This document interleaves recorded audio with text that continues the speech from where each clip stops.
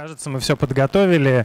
А, по старой доброй традиции предлагаю сначала поаплодировать друг другу, что мы собрались а, в этот приятный вечер все вместе. Вообще печь-куча, классическая печь-куча всегда начинается в 20 часов и 20 минут, не случайным образом. Сейчас мы про это немного поговорим. Но прежде чем э, мы начнем, э, у нас есть несколько таких классических вопросов, которые мы всегда задаем в самом э, начале. Каждая печь-куча, обычно их два, а сегодня будет три вопроса. Вопрос первый. Скажите, пожалуйста, кто из вас впервые пришел на формат печи-куча? Есть такие люди? Ого, вас много, это очень приятно. А, стало быть, вы узнаете сегодня, что это за такой хитрый формат, а, где он появился, почему мы его делаем в Москве и так далее. Про это коротко расскажу. А второй вопрос, а, который нам тоже всегда любопытно задать а, всем собравшимся. А есть ли люди, которые впервые оказались сегодня в этом пространстве? Кто в первый раз в Телеграф? Есть такие люди. Теперь вы знаете про эту площадку, тоже немного про нее расскажу. И третий вопрос, который не, не всегда звучит, точнее никогда раньше не звучал. Но вопрос такой, а кто э, что-то подробно знает, ну хотя бы что-то знает про акцию инвитро «Не жди дедлайн»? Есть такие люди? И раз сотрудники инвитро такие руки поднимают. Ну, отлично, значит, вы не зря тоже пришли, про это тоже поговорим. Все, э, три вопроса э, прозвучало, поэтому я сейчас по очередности буду на них, в общем, отвечать. Постараюсь коротко, потому что собрались мы не ради этого, а, а все самое интересное ждет нас совсем-совсем скоро. Коротко про Печу Кучу. Печь Кучу появилась не в Москве э, и, и вообще довольно давно, в феврале 2000 2003 года а, несколько архитекторов в Токио, в Японии а, поняли, что невозможно уже слушать длинные доклады на совещаниях, на планерках, и они решили придумать очень четкий и очень строгий формат, чтобы каждый выступающий а, его придерживался, и чтобы выступление каждого человека было организовано определенным образом. У каждого выступающего всегда есть ровно 20 слайдов, на каждый слайд есть ровно 20 секунд, слайды переключаются автоматически, автоматически, повлиять на это никак нельзя, и поэтому выступление человека длится 6 минут 40 а, секунд, потом включается таймер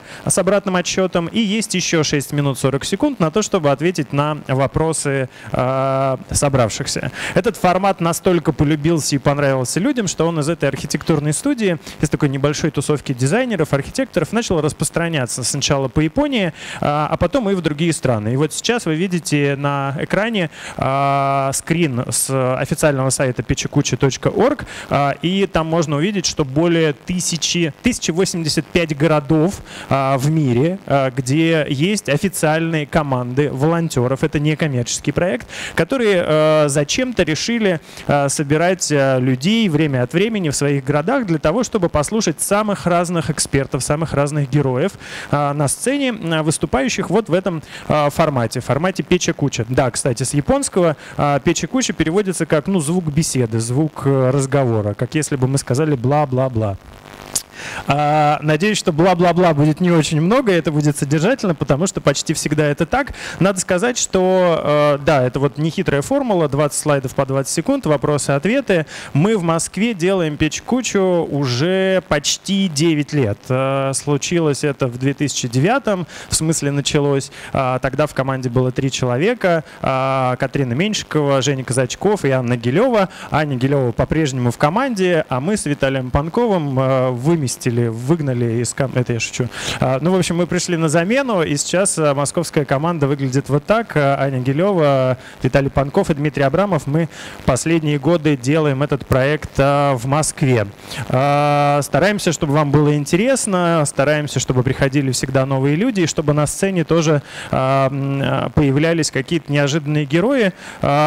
Про второй вопрос. Я спросил, кто впервые оказался на площадке DI Телеграф. Вообще для нас это довольно важная площадка, потому что Печекуча за все эти почти 9 лет московская а, часто и в знаковые моменты а, проводится здесь, в пространстве DI Телеграф. И мы с Аней Гилевой когда-то работали а, здесь тоже. И мы очень благодарны Телеграфу за, за то, что принимают нас и помогают нам делать это мероприятие. Если вы мало знаете про эту площадку. На сайте Телеграфа вы всегда можете посмотреть, что еще здесь э, проходит, потому что здесь проходит не только печь куча, здесь проходит огромное количество самых разных приятных мероприятий. А, и когда я задавал третий вопрос, кто что из вас знает про акцию инвитро не жди дедлайн. А, я понимал, что будет сейчас не очень много рук, но мне кажется, что это, в общем, полезная и важная информация, и поэтому мы решили сегодняшнее мероприятие сделать в партнерстве с инвитро и рассказать про этот проект, про эту акцию, а, которая проводится уже второй год, на самом деле, вторая осень. Не жди дедлайн, вы можете зайти на, по, по этой ссылке и прочитать все подробно, но единственное, что вы там не прочитаете вот этой информации, информации, потому что она исключительно для вас. А на лендинге сейчас обозначена стоимость 3333 э, рубля. За э, эти деньги можно сделать комплекс э, лабораторных исследований, но завтра и послезавтра в любом отделении инвитро вы можете сделать это за 333 рубля. Вот. И это, в общем, хорошая возможность, не дожидаясь дедлайна, пойти сделать чекап и узнать, как у вас обстоят дела со здоровьем. Вот так выглядит сайт. Там, кстати, можно еще а, выиграть разные призы и подарки. Кому-то из вас сегодня тоже будут доставаться призы и подарки. А, и мы еще хотели сообщить, что если кто-то из ваших друзей поленился и не дошел до телеграфа, вы можете сейчас сфотографировать этот экран или просто отправить ссылку.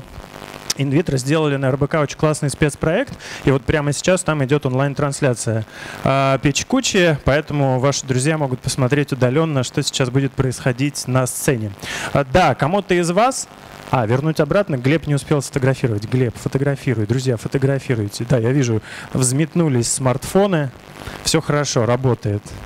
Digital, будущее, все здесь. А, так, книжки к аналоговому переходим, хотя они в цифровом виде тоже есть.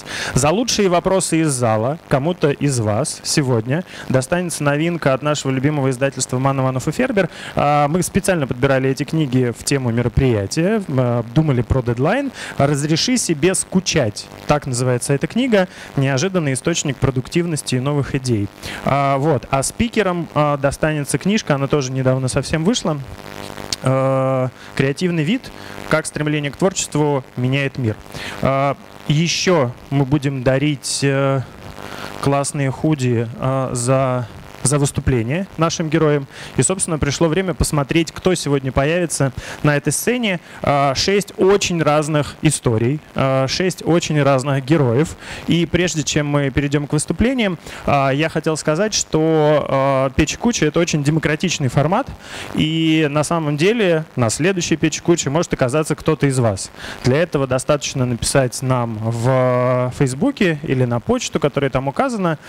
И если вы сможете как-то аргументировать аргументированно и нашей команде объяснить, э, что вам есть чем появиться и есть что рассказать нашей аудитории, а, в общем, все заработает, и, возможно, на этой сцене а, на следующей печкуче, э, окажетесь вы.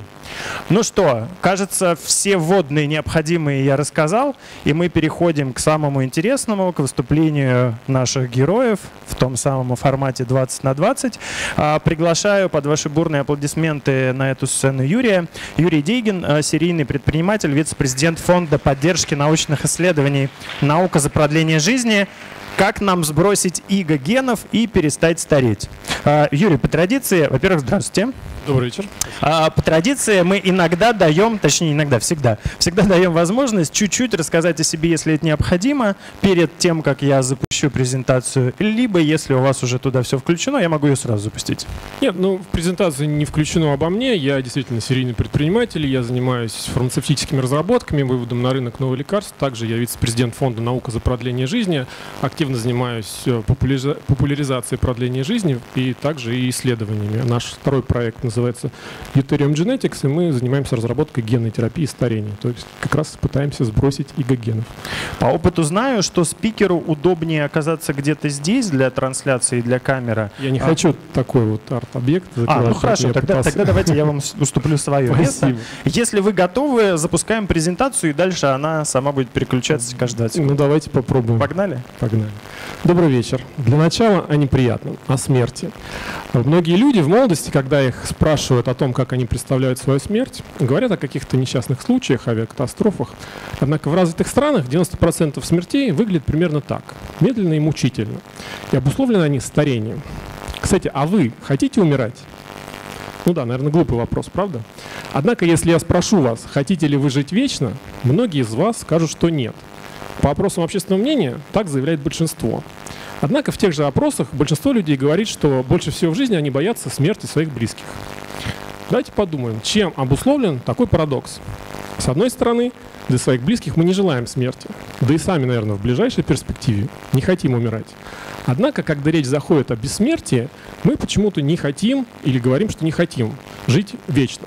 При этом никто же не э, предлагает нам какое-то принудительное бессмертие, как в загробной жизни многих религий. Нет. И никто не говорит о продлении старости. Речь идет о добровольной биологической возможности жить неограниченно долго, пока нам самим этого хочется. Однако даже такая перспектива, когда люди слышат о ней впервые, вызывает отторжение. При этом все возражения, которые люди впервые говорят, обычно очень похожи. Прям как в анекдоте про частых попутчиков, которые все свои шутки уже знают по номерам. Перенаселение, будет скучно жить, смерть придает жизни смысл и все так далее. Э, я не буду подробно говорить о возражениях, лишь скажу, что все они являются некой психологической защитной реакцией, призванной защитить наш стокгольмский синдром перед лицом старения и смерти. Просто мы уже с самого детства настолько свыклись с нашей смертностью, что переосмысливать наши отношения к ней очень психологически сложно или даже больно. Но для победы над старением это необходимо. То, что первый этап в решении любой проблемы – это признать ее наличие. Соответственно, нам надо признать старение и смерть проблемой. А дальше нам нужно проверить в том, что с ней можно что-то сделать. И тут все гораздо проще, потому что у нас перед глазами есть примеры животных, которые живут гораздо дольше, чем мы. Киты, акулы, черепахи – все они живут сотни лет. И э, вот черепаха на фото прожила более 200 лет. Что мешает нам делать то же самое? Ответ может вас удивить, но мешают нам гены. При этом я считаю, что мешают они прям активно. Активно сводят нас в могилу, точно так же, как они это делают с бабочкой-однодневкой или с лососем, которых они убивают сразу после размножения. Просто у нас этот период гораздо более долгий и, можно сказать, мучительный. Однако даже если не так, если они нас не убивают активно, нет никаких сомнений, что именно гены определяют срок жизни каждого вида. И этот срок может очень сильно различаться даже у близких видов. В рамках одного рода, вот, например, как у окуневых, окуневых рыб, он может сильно различаться. И именно гены отводят мышки 2 года, летучим мышам 20 лет, а китам по 200. Соответственно, чтобы нам перестать стареть, нам нужно сбросить иго генов. И все инструменты у нас для этого наконец-то есть. Ученые уже на эмбриональном уровне очень хорошо могут модифицировать организмы, и именно таким образом они в 10 раз могли продлить жизнь червям или многократно увеличить мышечную массу собакам на фото. Соответственно, следующий э, этап – это научиться это делать во взрослом организме. И это тоже уже не фантастика, а реальность, потому что ученые научились укращать вирусы, чтобы те безопасно доставляли нужные нам гены в организм. Э, клинические исследования различных генных терапий идут десятками, и некоторые терапии уже находятся на рынке, одобрены для людей. Соответственно, следующий этап – понять, какие именно гены нужно доставлять или модифицировать для того, чтобы значительно продлить жизнь. И на этом поприще тоже есть положительные результаты. Например, результаты семья Яманаки, японского Нобелевского лауреата, который нашел 4 гена, с помощью которых любую клетку можно обратить обратно в стволовое состояние, попутно заметно ее омолаживая. Или исследование группы Бельмонта из США, которые с помощью тех же самых факторов Яманаки показали, что если использовать их аккуратно, можно вернуть в более молодое состояние генетические настройки организма или эпигенетику. И тоже значительно продлить жизнь. Как я уже сказал, мы как раз и занимаемся эпигенетическом омоложении. Это все, конечно, хорошо, но все равно есть проблемы, потому что научные риски таких проектов очень высоки, но исследователей старения очень мало. Поэтому, чтобы максимизировать шансы человечества создать терапию от старения как можно быстрее, таких исследователей должно быть в сотни раз больше. Хотя бы сравнимо с количеством людей, которые работают над раком или Альцгеймером. Ведь рак и Альцгеймер – это следствие старения, однако на борьбу с ними тратится в разы больше денег, чем на борьбу с их первопричиной. Почему? Все тот же стокгольмский синдром нашего общества перед лицом старения. Общество не считает, что старение какая-то срочная проблема, соответственно, нет общественного запроса на скорейшее ее решение, в отличие от рака или Альцгеймера, где такие общественные запросы есть. Соответственно, следующий этап – донести до общества какие-то простые вещи. Во-первых, не надо стесняться желания не умирать. В желании жить и оставаться здоровым как можно дольше нет ничего постыдного. Во-вторых, это возможно. Продлить жизнь возможно. Наука уже сделала первые шаги в этом направлении, и новые средства продления жизни уже появятся в ближайшие 10-15 лет. Кстати, каждый дополнительный год жизни – это и дополнительный год научно-технического прогресса, за который может быть разработано еще более прорывное средство. Это longevity escape velocity, как ее называет Обри Грей. То есть, если мы продлеваем жизнь на 10 лет, за эти добавленные 10 лет мы, скорее всего, научимся продлевать ее еще на 20, потом еще на 30 и так далее. Ну, надеюсь, я кого-то из вас убедил, что за эту жизнь стоит побороться. Если вы хотите в этой борьбе как-то помочь, вот что вы можете сделать. Я упоминал общественный запрос, который нужно создать, чтобы заставить общество тратить гораздо больше денег на борьбу со старением. Вот почему я считаю, что это может сработать. Потому что есть исторические примеры. Когда вирус СПИДа только появился в 80-х годах, он убивал людей за бурный активизм ВИЧ-инфицированных создал необходимый общественный запрос, который заставил государство тратить миллиарды долларов на исследование механизмов этого вируса. И уже к середине 90-х была разработана терапия, которая в десятки раз продлила срок жизни больных этим вирусом. Поэтому как раз с общественным запросом вы все и можете помочь. Просто начните рассказывать людям, что радикально продлить жизнь возможно, и что в этом нет ничего плохого. И, глядишь, лет через сто мы с вами будем носить гордое звание Aging Survivor и рассказывать своим правнукам, как мы помогли победить это смертельное заболевание. Спасибо. А, Юрий, признайтесь честно, репетировали прям долго и упорно? Да, я же понимаю, что это выглядит, э, наверное, Идеальный очень... тайминг. Просто так бывает редко. А, я предлагаю Юрию еще раз поаплодировать. Спасибо. Я надеюсь, это не выглядело слишком э, ну, отрепетированным, но по-другому сложно уложиться. Нет, получилось очень круто. Я прям позавидовал, потому что я когда сам выступал на печь кучи, мне было как-то сложнее вписываться в этот тайминг. У вас получилось очень хорошо. Друзья, я сейчас запущу таймер с обратным отсчетом. Будет 6.40 на вопросы и ответы. Поднимайте руки, у кого уже есть вопросы. Я буду один носиться сегодня по залу с микрофоном, но надеюсь, что все получится. Да, появился таймер. Бегу.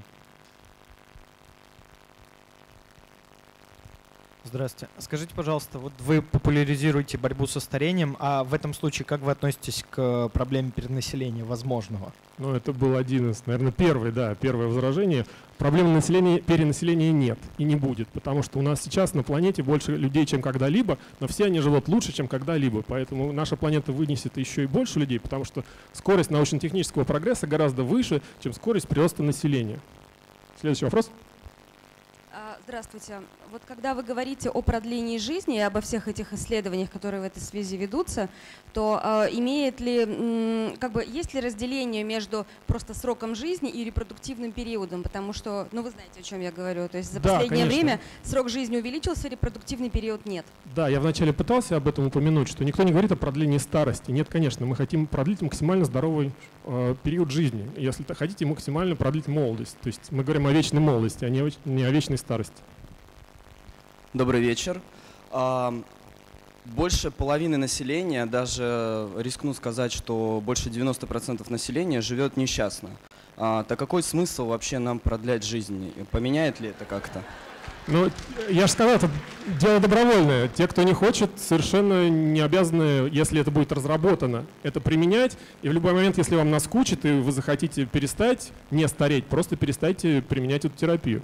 Но я посмотрю, когда вам будет 50 лет, как вы будете э, реагировать на то, если будет разработано такое средство. Добрый день. Э, тем не менее, в современном мире есть э, такие вопросы, которые невозможно решать отдельно от других. Мы походе, коснули, э, походе коснулись проблемы перенаселения, но есть же еще экологические проблемы. Соответственно, мы не можем вот выделить одну проблему и не решать другую. Вы говорите, нет, это не так. Но я вам отвечаю, нет, это не так.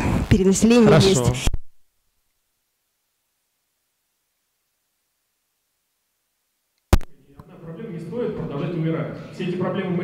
Одна проблема не стоит того, чтобы сказали, нет, я вот сегодня готов умереть, чтобы экология была... Я про это и говорю, но мы не решаем их. Мы решаем, мы выделяем одну проблему и решаем Это самая важная проблема, потому что мы умираем. Нет никак, ничего хуже в этой жизни, кроме чем смерть нас или наших. Будем живы, мы их решим. А Дальше, дальше будет такая проблема репродуктивная, действительно. То есть увеличивая продолжительность жизни, это не может не коснуться репродуктивной функции. То есть мы будем бесконечно увеличивать количество населения на планете, просто потому что одним так хочется, и они не думают о других, которым станет там все теснее. И Часто люди после хуже. того, как они уже двух детей э, сделали, они как-то больше не хотят. Честно говоря, никакой проблемы не будет. И на самом деле идет тренд э, снижения популяции, снижения репродукции, депопуляции в разных странах. И чем выше уровень жизни, тем, тем ниже рождаемость. Поэтому не никакой менее, проблемы перенаселения не будет. Ну, И с экологией не будет. Ни одна проблема не стоит того, чтобы мы продолжали умирать. Не согласна с вами, но тем не менее. Спасибо. Добрый день. Насколько мне известно, рекорд продления жизни мышам за, за циклическим голоданием, и побил ли этот рекорд эпигенетическая терапия? Ну, на самом деле, э, э, рекорд продления жизни мышей – это генетические манипуляции плюс ограничение калорий. Да, там около 70% получается. Нет, пока это эпигенетическим омоложением не побито, потому что э, э, исследования эпигенетического омоложения были сделаны только на одной линии мышей, и она была быстро стареющей, и им продлили жизнь там максимум 50%. Но это пока что первые эксперименты, мы как раз тем и занимаемся, что пытаемся оптимизировать и сами гены, и э, режим дозирования. А Как работать с конфликтом смертной, воспитанной тысячами поколений души в бессмертном теле? Вы думали про это? Да, мы вопросы религии никак не затрагиваем, мы говорим только о науке, и как бы все остальные э, вещи нам параллельно. Мы говорим о медицине, никто не говорит, что давайте мы не будем а, применять медицину, потому что у нас бессмертная душа. Точно так же никто не будет говорить, я не хочу продлевать жизнь, потому что, ну или если не хочет продлевать жизнь, мы никого не заставляем. Здравствуйте, Юрий, меня зовут Анна. Вопрос политического характера. Вот сейчас идет продление пенсионного возраста. И как ваш спич связан с этим? Ну, в принципе, никак, потому что политика, экономика – это как бы в одном конце спектра, медицина и исследования в другом, но, конечно же, если мы разработаем такую терапию, или не мы, я имею в виду ученые, то это поможет людям оставаться здоровыми, трудоспособными намного дольше. Наверное, сама концепция пенсии тогда будет нерелевантна, потому что если тебе всегда 25, ты как бы можешь работать столько, сколько хочешь. Но если человек хочет стареть и уйти на пенсию, никто ему не мешает. Пожалуйста, если ваш биологический возраст будет 25, а вам 65, вам скажут, ну, хорошо. Если вы не думаете о религии, это не значит, что религия не думает о вас. Снятие, это снятие страха бессмертия, снятие страха бессмертия, сейчас внимание, оно ломает табу религии на вечную жизнь. Следовательно, начнется война, а всех против всех. Снимется все социальные табу. Что делать? Ну, наверное, надо избавляться от этого вируса религии, который нас э, просто наш мозг закрывает, говорит, что нет, только моя сказка правильная, а вот те остальные сказки неправильные. Поэтому надо смотреть на вещи трезво. Никакой загробной жизни не суще- не существует, есть только вот это, и просто надо э, именно ее и пытаться сохранять. Здравствуйте, да, у меня тоже была шутка про пенсионный возраст, видимо, ни одного меня это тоже волнует. А, Вопрос э, заключается в следующем. Вы как человек, занимающийся исследованиями, и люди, которые занимаются каким-то делом, они обычно либо практикуют, либо что-то применяют. Вы уже что-нибудь на себе пробовали, какой-нибудь пластырь, может? Конечно, нет, но у меня недавний долгий опыт э, самое, а, самоэкспериментаторства и различного биохакинга, это слово уже настолько всем приелось. А Я много чего пробовал, но по- пока каких-то вот прям средств, которые могут продлить радикально, пока еще не создано. А так совершенно базовые вещи, не переедать, заниматься физкультурой, здоровый образ жизни, не курить. Очень важно не курить, потому что курение в среднем сокращает жизнь на 10 лет. Ну и все, что как бы, а, вы знаете о том, что не стоит делать, не стоит делать. 5 секунд. Добрый вечер. Будет вести он жить у людей. Ноль секунд. Но если перестанет хотеться жить, никто не запрещает перестать применять терапию жизни. Даже сейчас никто не торопится особо что-то делать. Представьте, если бесконечно. Хорошо. Ну, скажите это людям в космосе и больным раком и всем остальным. Спасибо. А, аплодисменты. Юрий, я даже не знаю, как сейчас вам предстоит выбрать лучший вопрос, но тем не менее, вот какой вопрос вам запомнился больше всего? Автор этого вопроса в конце мероприятия сможет подойти сюда на сцену и получить книжку от Мануэла Фердера. Ну, наверное, стоит отметить вопрос про продление жизни мышей, потому что человек явно в теме, он знает, что уже ограничение калорий продлевало жизнь. Человеку, который этим занимается, просто греет душу, что хоть кто-то разбирается в этой теме. А не говорит про перенаселение в 100-500 раз. Слушайте, ну вопросов, конечно, было огромное количество. Спасибо большое. Юр, вам достается подарок от Инвитро. Спасибо и э, книжка от Ман Иванов и Фербер, как обещали. И еще раз аплодисменты из зала. Мне кажется, такого интереса на старт каждый и любой спикер. Спасибо огромное, мы продолжаем. Ну что, теперь кажется чуть более понятно, да, как работает формат э, печи куча. Слайды, правда, переключаются автоматически, и спикеры э, удивительным образом должны успевать э, укладываться в этот тайминг. Я приглашаю на эту сцену э, второго героя, точнее героиню э, сегодняшнего вечера, Лену Деревянко, арт-директор, независимый издатель. Э, Лена тоже много знает про дедлайны и расскажет, как из читателя стать издателем. Держи микрофон, поднимайся на сцену под ваши бурные аплодисменты. Привет. Да? Ну, как обычно, можно чуть-чуть рассказать о себе, если это не за... Бомби. Сразу включаем. Да. Смелая. Бомби. Поехали. Я буду смотреть туда. А, привет, ребята, меня зовут Лена. Мне бы очень хотелось сказать, что я издатель, но пока, э, по моим ощущениям, я нахожусь где-то здесь, на пути к тому, чтобы стать издателем. И сегодня хочу как раз вам про это рассказать, как я оказалась на этом пути. Но э, начать надо с того, что я дизайнер и всю жизнь работала арт-директором. А в 2015 году у меня родилась дочка Майя, и это событие достаточно сильно изменило мою жизнь. Я ушла э, с работы арт-директором в большом офисе э, в декрет – и стала думать о том, кем я стану, когда вырасту, и чем я хочу заниматься, и куда мне двигаться дальше.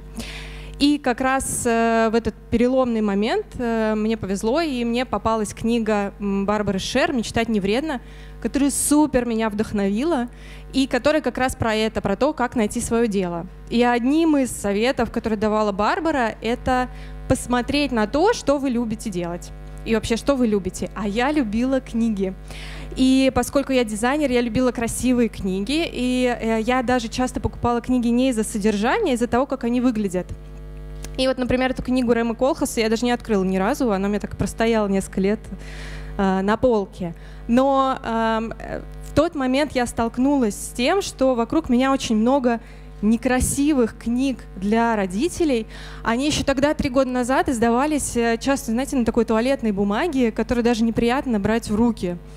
И я подумала, вот, это моя мечта, это мое дело, сейчас я стану издателем и буду издавать красивые книги. Я написала план на 5 лет, и, как вы видите, в 2018 году у меня должна была быть уже, должно было быть издательство, книжный магазин, кафе и так далее. И ничего этого нету, потому что я написала этот план и ничего не делала. Два года э, я просто мечтала, Все там были, да, я тоже там была. Э, я написала очень подробный список тех действий, которые мне нужны для того, чтобы стать издателем. И он меня пугал просто до усрачки, ребята, честное слово. И я э, ничего не делала, смотрела на этот список и боялась, да. Тут перечислено все, чего у меня не было. И я рассуждала так, не, ну конечно, у меня нет денег, у меня нет времени, и вообще-то у меня опыта нету, что я могу вообще сделать? А, и в этот момент я вспомнила, а, что есть а, книга, которую мне советовали все мои друзья, которые советовали арт-директора студии Лебедева, арт-директора бюро Горбунова. Книга «Сделай это завтра» Марка Форстера. И я решила, э, окей, я не буду издателем, я просто издам одну книгу и посмотрим, как пойдет. Это было ключевое решение. Э, я написала письмо правообладателям, и в нем сказала, что, ой, вы знаете, я такое независимое издательство со своей командой дизайнеров и переводчиков. В тот момент моя команда дизайнеров и переводчиков выглядела вот так примерно, э, как вы понимаете. Я была одна. А, но а, правообладатели это не испугало, и они очень неожиданно для меня сказали, мы так рады, что вы заинтересовались этой книгой. А, да, мы хотим с вами работать. И вот этот первый шаг, который я сделала, он все перевернул. Я завела ИП, заплатила налоги, начала что-то делать. Мы очень быстро договорились о том, как мы подписываем договор, а потом меня ждала неудача, потому что они, правообладатели, просто перестали мне отвечать э, на письма. Притом мои письма э, выглядели так. Заберите мои деньги. Я хочу вам заплатить за права. Пожалуйста, заберите мои деньги. Они мне не отвечали несколько месяцев. Но поскольку э, первая удача у меня уже была, мне было легче. И я писала каждый день, я нашла литературного агента, и в начале этого года мы подписали наконец-то договор. Спасибо. С этого момента стало гораздо проще. И э, в этот момент я смогла вернуться к тому списку шагов, которые надо сделать, чтобы издать книгу. И я уже не боялась этого списка. Он примерно такой же остался, в смысле по объему. Но мне было уже не страшно, потому что первый шаг я уже сделала. Uh, у меня появились uh, партнеры, uh, студия Kind Beetle, мои друзья, которые помогли мне этот большой список разбить на еще больший список а, который был привязан еще ко времени, очень четкому. Мы с ними каждую неделю созванивались. Ты сделала это, ты сделала это, а вы, а вы. И, как вы видите, у меня появилась команда.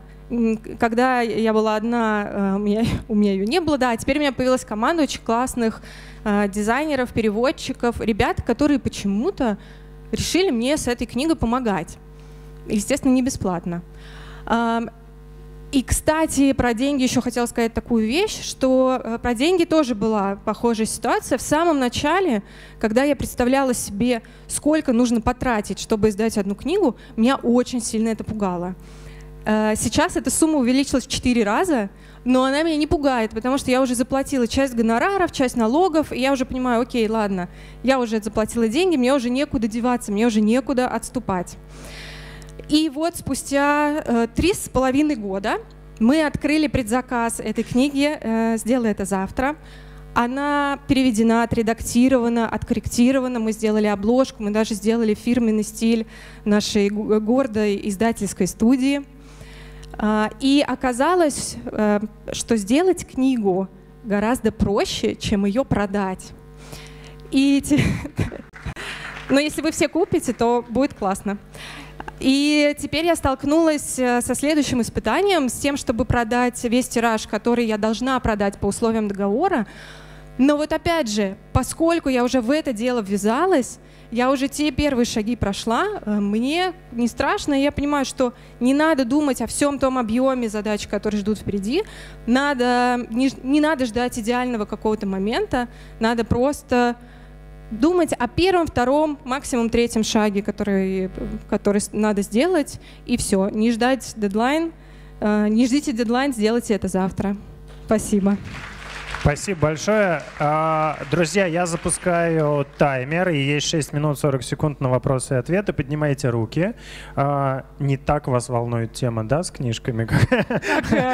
Как, с пенсионной реформой. Как с пенсионной реформой. Но вот какая-то рука появилась, бегу туда. А пока вопрос от меня. А, Лен, если вот э, давать рекомендации собравшимся людям, которые прямо сейчас здесь в зале в телеграфе, что должно нас побудить э, купить эту книжку? Вот короткое одно предложение.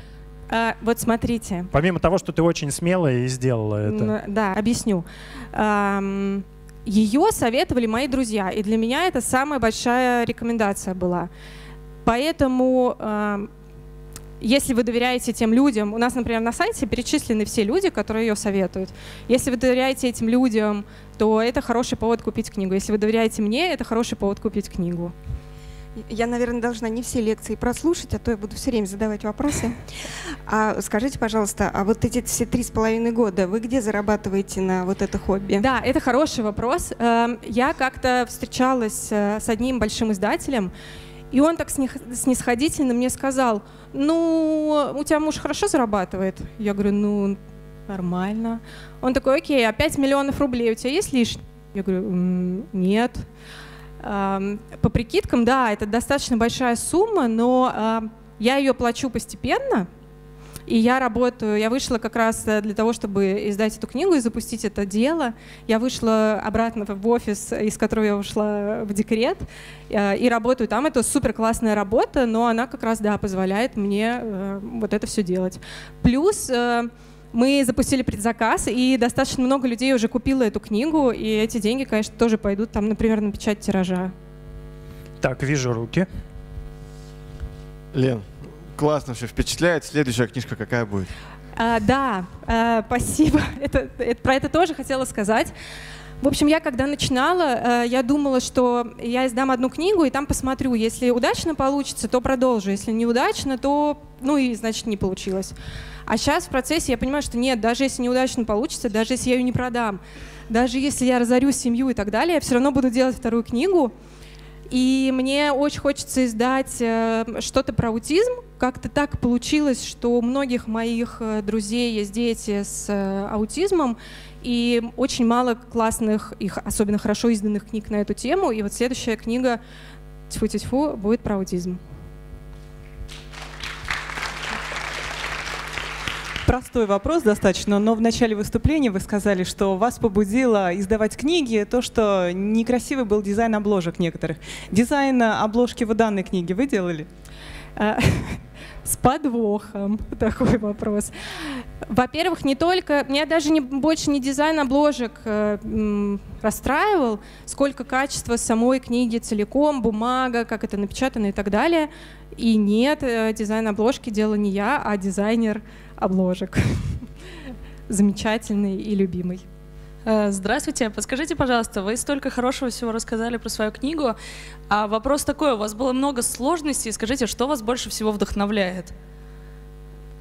Ну вот как раз то, э, что пер... вот первый успех, вот это первое письмо, на которое правообладатели ответили и сказали, да, давай делать.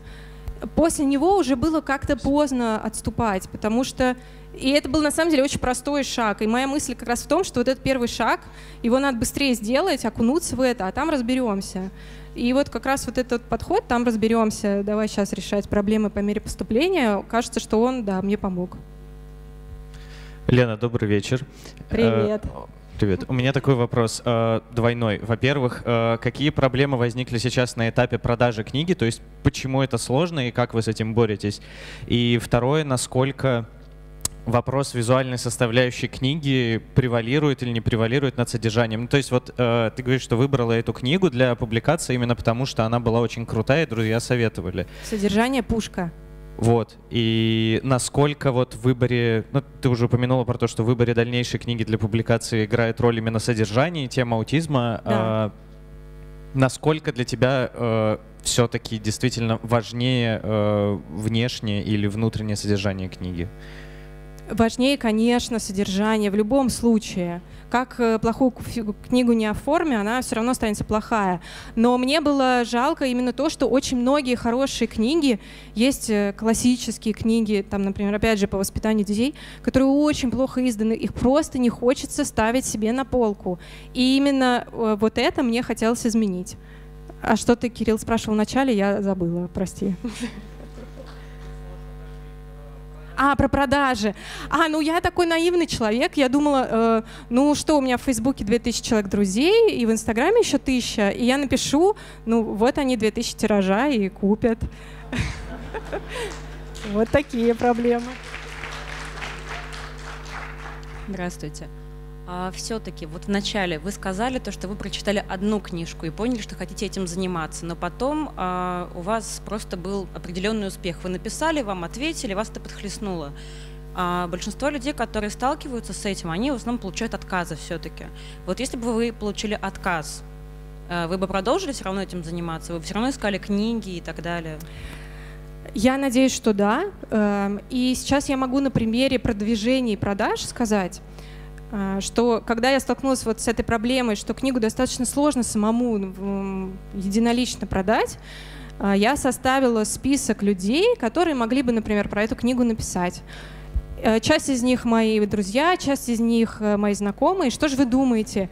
Я начала им писать, и практически все стали говорить, М -м, нет, ну, по разным причинам. Кто-то не читал книгу, не хочет говорить о том, что не читал. Кто-то хотел посмотреть, как она будет издана. Но отказов было очень много. А, и тем не менее это меня не остановило, потому что был большой список, э, и я просто последовательно по нему шла. Окей, я отказала от этого человека, идем к следующему.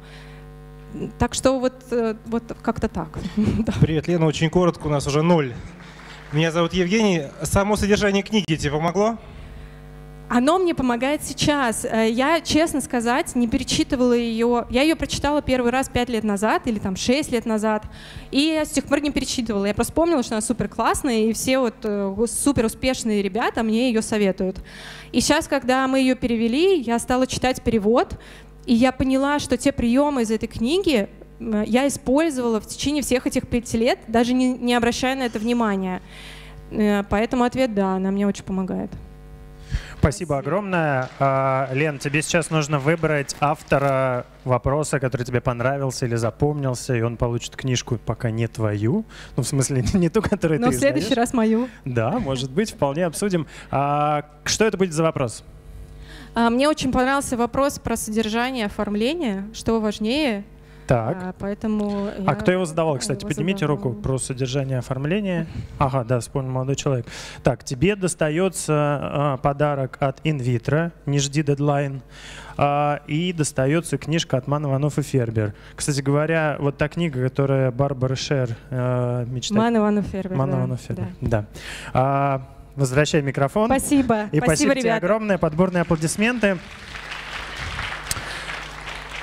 Да, кстати, друзья, я э, вижу, что рук э, сильно больше, чем э, времени, и мы не все вопросы успеваем задать вслух. Формат «Печь кучи» подразумевает, что после мероприятия можно остаться и пообщаться кулуарно со спикерами, позадавать вопросы или, может быть, поделиться какими-то своими размышлениями. Еще я хотел напомнить про наши хэштеги.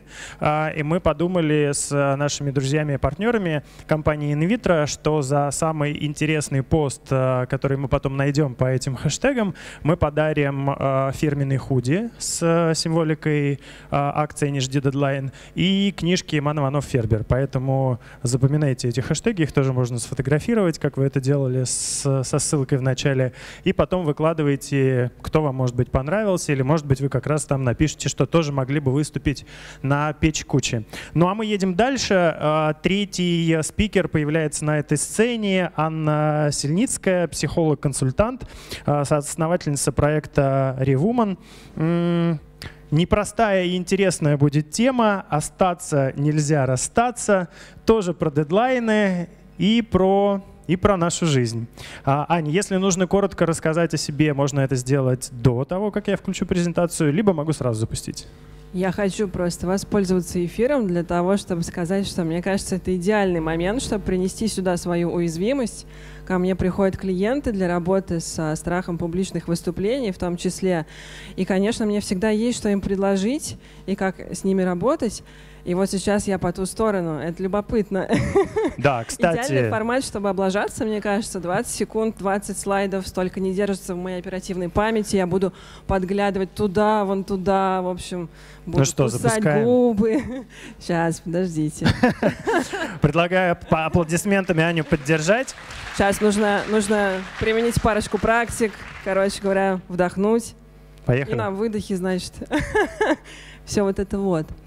Да, а, собственно, формула, которая а, в названии моей презентации «Остаться нельзя расстаться» отсылает нас к тому моменту отношений, а, к тому моменту в жизни альянса, сообщества или пары, в котором возникли проблемы. И если вы сейчас в этой точке, то вы, наверное, уже миллион раз обо всем подумали, да?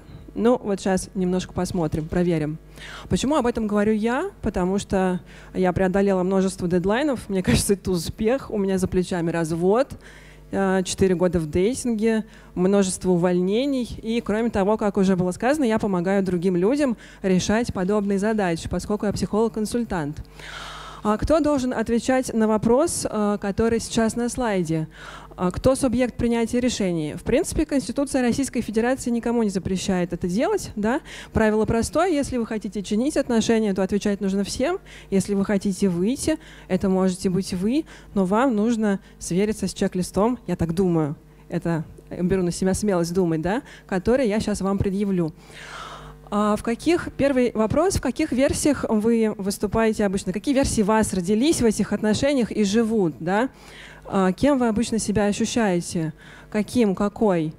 А, я, например, э, лучше всего ощущаю себя в версии себя, которую я бы описала как, не знаю, а, любимая, человек, который заслуживает уважения, что-то в этом роде, да. Но очень часто приходит э, на сцену другая версия, когда, э, когда той долго нет, приходит другая и, собственно, э, заявляет свои права. Вот. Э, как вам то, какие версии э, отношений появляются в вашем эфире? Как, как вам это, собственно? Сейчас я дождусь следующего слайда, потому что я забыла, что должна была сказать на этом. вот, и немножко нервничаю. Следующая часть моего чек-листа — это, собственно, тоже чек-лист, такая выпадающая ссылка. Я сделала, что могла или что мог. Где для вас эта точка? А, я предлагаю вам задать ее заранее и подумать о том, что могло бы быть вашей опорой, да, когда вы уже будете в этом круге попыток и неудач, что, что могло бы вас поддерживать. Мой э, чек-лист выглядит так, проверить, э, что вы знаете, ради чего ваш партнер или партнеры, и вы сами участвуете в отношениях, а, подождать, пока изменения, над которыми вы работаете, э, состоятся или совершатся, и, а, может быть, сходить к специалисту, может быть, удостовериться, что а, человек готов что-то менять или вы готовы что-то менять. Когда отношения в кризисе, очень часто мы то, что помогает нам а, справляться, это надежда. Надежда очень упрямая вещь. Да? Она, то, что помогает в радикальных примерах узникам концлагерей, она очень мощная и упрямая штука. И, собственно, это делает ее эффект на отношения двояким. Да? Давайте подумаем о том, а, какие основания у нас есть надеяться. Я помню, что очень продуктивный, хотя и сложный момент был в, моем, а, а, в моей адаптации после неудачного брака, когда я поняла, что все время, во время этих отношений я надеялась на изменения.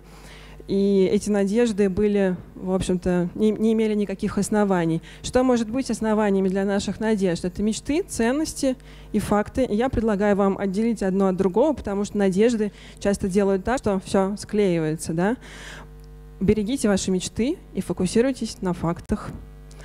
Мы идентичность. Э, многие альянсы, э, пары или э, сообщества имеют сильную мы идентичность, и их участники определяют себя через принадлежность к альянсу. Они говорят себе о себе как о ком-то, кто принадлежит альянсу и действует от лица альянса и они делают это в мы, э, на, на мы языке. Да? Я хочу спросить у вас, какая у вас, э, на сколько баллов по, 10-бальной шкале у вас есть надежда, что вы и ваши партнеры сможете воссоздать или сконструировать заново вашу предпочитаемую мы идентичность? Да, и, наверное, самый важный для меня вопрос, на котором я задаюсь и, на который предлагаю, приглашаю ответить своих клиентов, это ради чего вы в этих отношениях? Если представить, что есть что-то очень важное, что пригласило вас туда и заставляет там оставаться, то что это, да? Как выглядит такой импровизированный список ваших ценностей, которые вы практикуете внутри отношений? Если взять, например, романтические какие-то партнерства, то часто люди практикуют там любовь, другие дружбу. Третье, может быть, возможность родить детей или создать семью, быть в своей стае. Другие — регулярный секс. И тоже важно понять, э, что для них это означает. Да? И, допустим, мы знаем теперь, что мы практикуем в наших отношениях. Давайте посмотрим, а делаете ли вы это за их рамками. Можете ли вы где-то еще практиковать то важное, что, в общем, на, на, на чем держится ваша жизнь, можно сказать, да? И подумав об этом, я бы перешла к вопросу, а в чем, собственно, эксклюзивность отношений с точки зрения тех ценностей, которые вы там практикуете, да?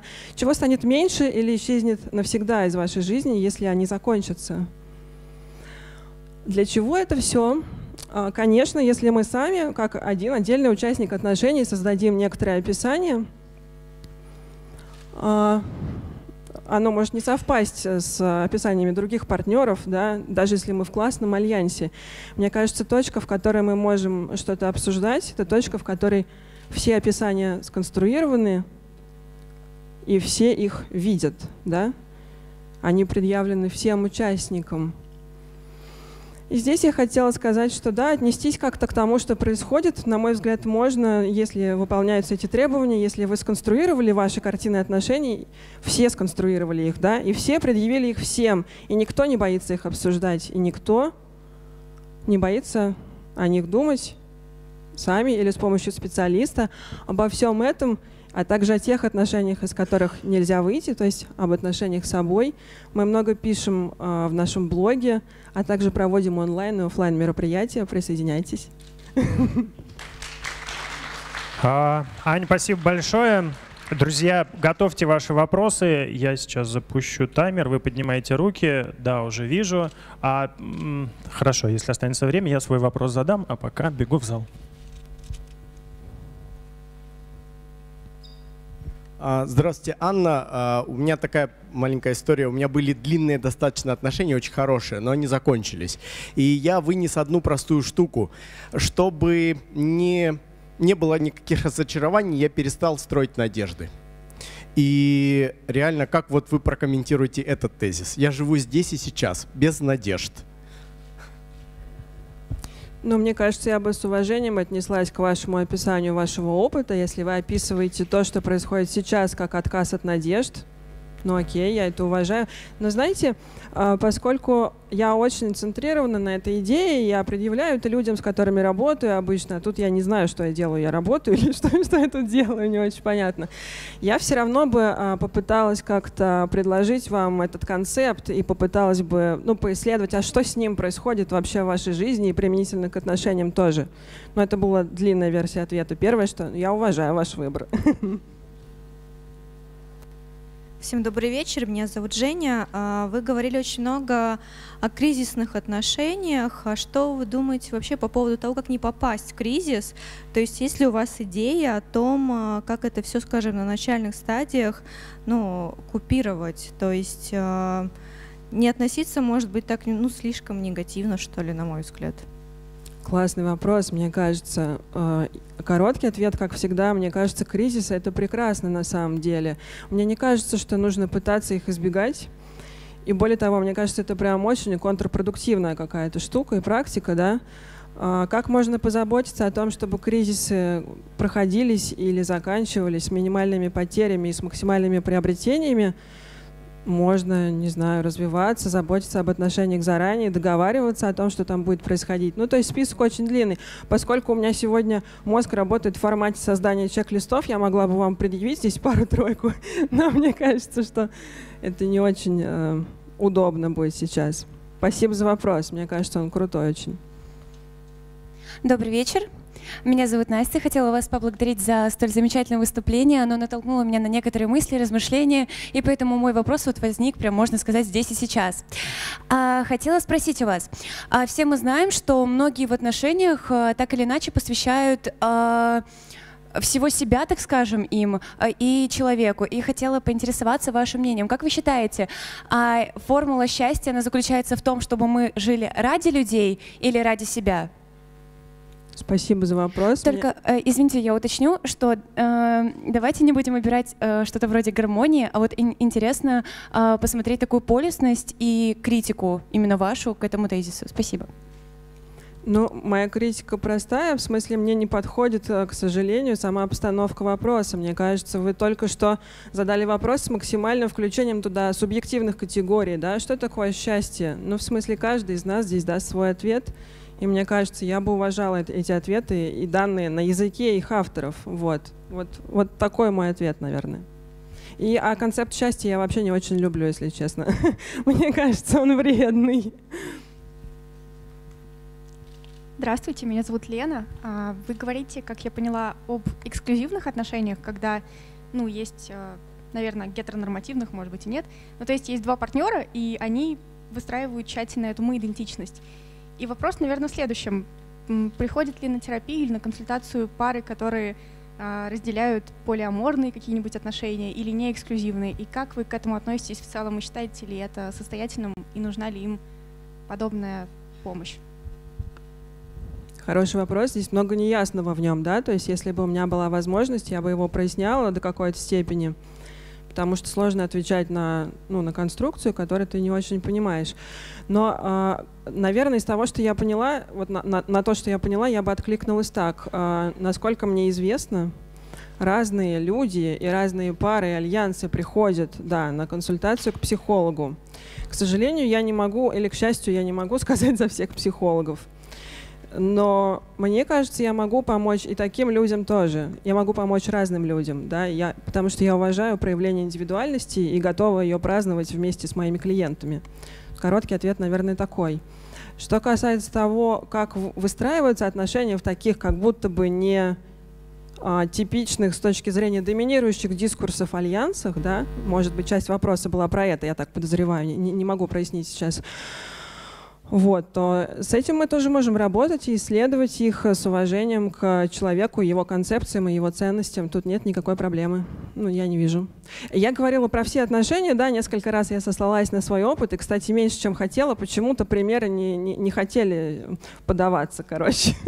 И все оттормозились просто на какой-то стадии. Угу. Добрый вечер, меня зовут Мила. У меня следующий вопрос. Я недавно прочла книгу красная таблетка доктора Курпатова. Вы что-нибудь о ней слышали? Ну, я знаю, что доктор Курпатов существует. Ну, а, в общем, а, мужик говорит следующее. А, бога нет, оркестру не нужен дирижер, а людям в парах нужны только, только выгоды, взаимная выгода. Что вы думаете на этот счет? Я не очень э, склонна доверять людям, которые знают, что нужно другим. Но в целом я стараюсь не практиковать такую штуку.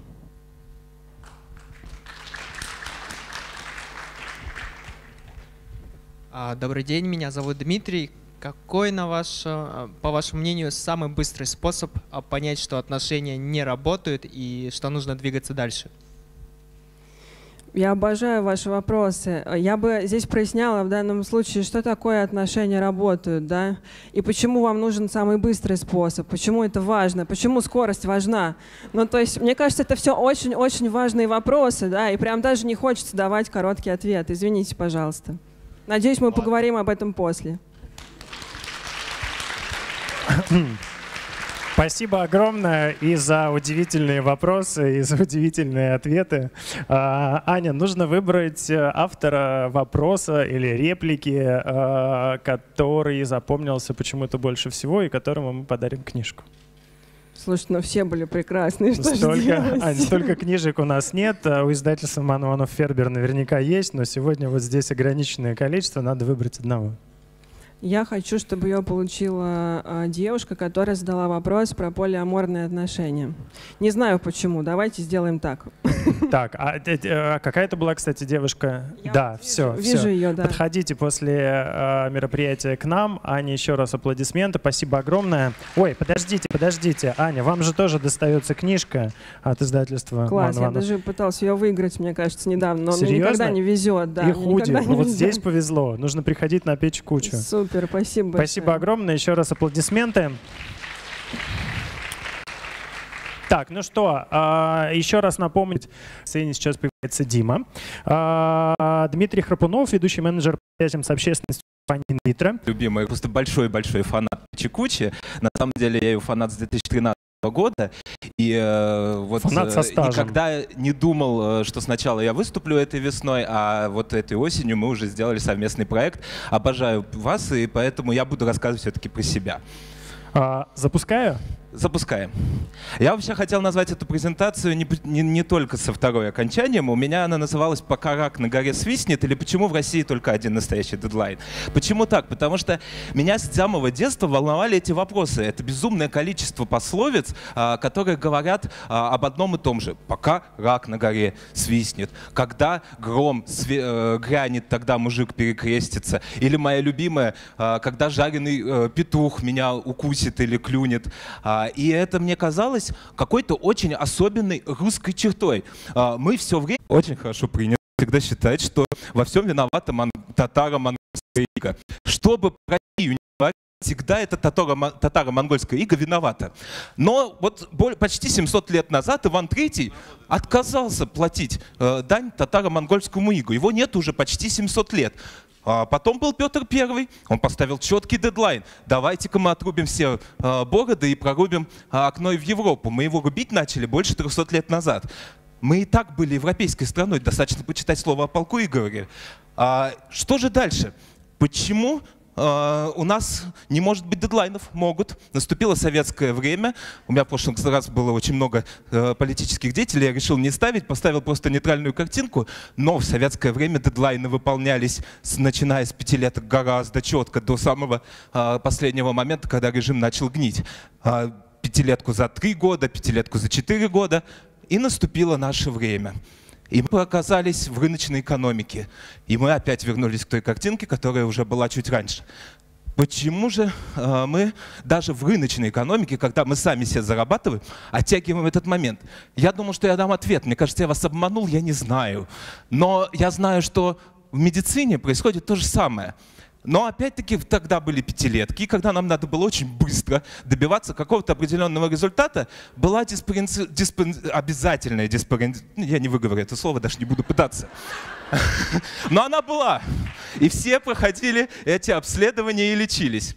А медицина 90-х выглядела примерно вот так. Там было все сразу. И народная медицина, и научная, и китайская, и э, 16 19 сезон битвы экстрасенсов идет на минуточку. А, И это продолжается до сих пор. Что же делать, говорим мы? Потому что, в конце концов, наши э, условия а, нужно как-то... Мы все-таки частная компания, мы должны а, как-то зарабатывать деньги и создавать позитивный образ. У людей есть а, понимание, что машину, особенно если она новая, и если она на каска, нужно каждый год сдавать на ТО. У людей совершенно нет понимания, что наш организм нуждается ровно в том же ТО. Вот это все не работает. И э, надписи «Минздрав запрещает пить» тоже не работают. Мы это все знаем. Почему? Потому что рекламе больше 200 лет, это на нынешней современной рекламе, 100 лет телевизионной рекламе. И э, если мы возьмем там Древний Рим, это еще больше. А это все в маркетинге называется белый шум и отрицательный спрос. Когда вам говорят, вам нужно проверять свое здоровье, вы идете дальше, вы в курсе. Вы, вас это совершенно не трогает, так же, как эти пачки сигарет на предыдущем слайде. Нам было нужно что-то придумать. Мы выбрали отрасль, которая понимает, что такое дедлайн. Это отрасль медиа и отрасль коммуникаций. И у нас появилось вот это название акции, которое в прошлом году было в первый раз. Она была четко направлена на одну определенную отрасль. Не жди дедлайн. Мы хотели назвать «Звезды коммуникации за здоровье нации», и мы услышали в нашем же названии наш, тот же белый шум, о котором я говорил ранее. Это название сработало, и люди, а, получив эту скидку, пошли. Но правда, одна треть людей пришла в последний день. Они дождались дедлайна, и это говорит о нашей отрасли а, гораздо больше, чем результаты анализов. Меня это, кстати, не очень удивило, я тоже пошел в последний день. Вот еще есть два дня, послезавтра можете сходить, до конца года еще есть варианты. Мой дедлайн личный меня коснулся, кстати, на прошлой печи кучи, а, когда я выступал этой весной. Мне было очень тяжело. Я думал, что я задохнусь, когда я, я думал, что я пробежал марафон. И я пошел на акцию, посмотрел свое здоровье. Так себе я вам скажу. А я еще, ну, мне еще 30 лет. Я хочу вот э, дождаться, когда изобретут лекарства от старости. И таких, как я, 15 э, с- э, извините, 85%, только у 15% людей, которые пришли к нам на профилактическую акцию, будучи здоровыми, оказались полностью здоровы. Только 15. У большинства нет никаких сложных э, каких-то э, отклонений. Они могут их э, исправить очень быстро. Поэтому, если вы будете соблюдать дедлайн хотя бы для своего здоровья, вы тоже будете здоровы. И будьте здоровы, пожалуйста. Спасибо.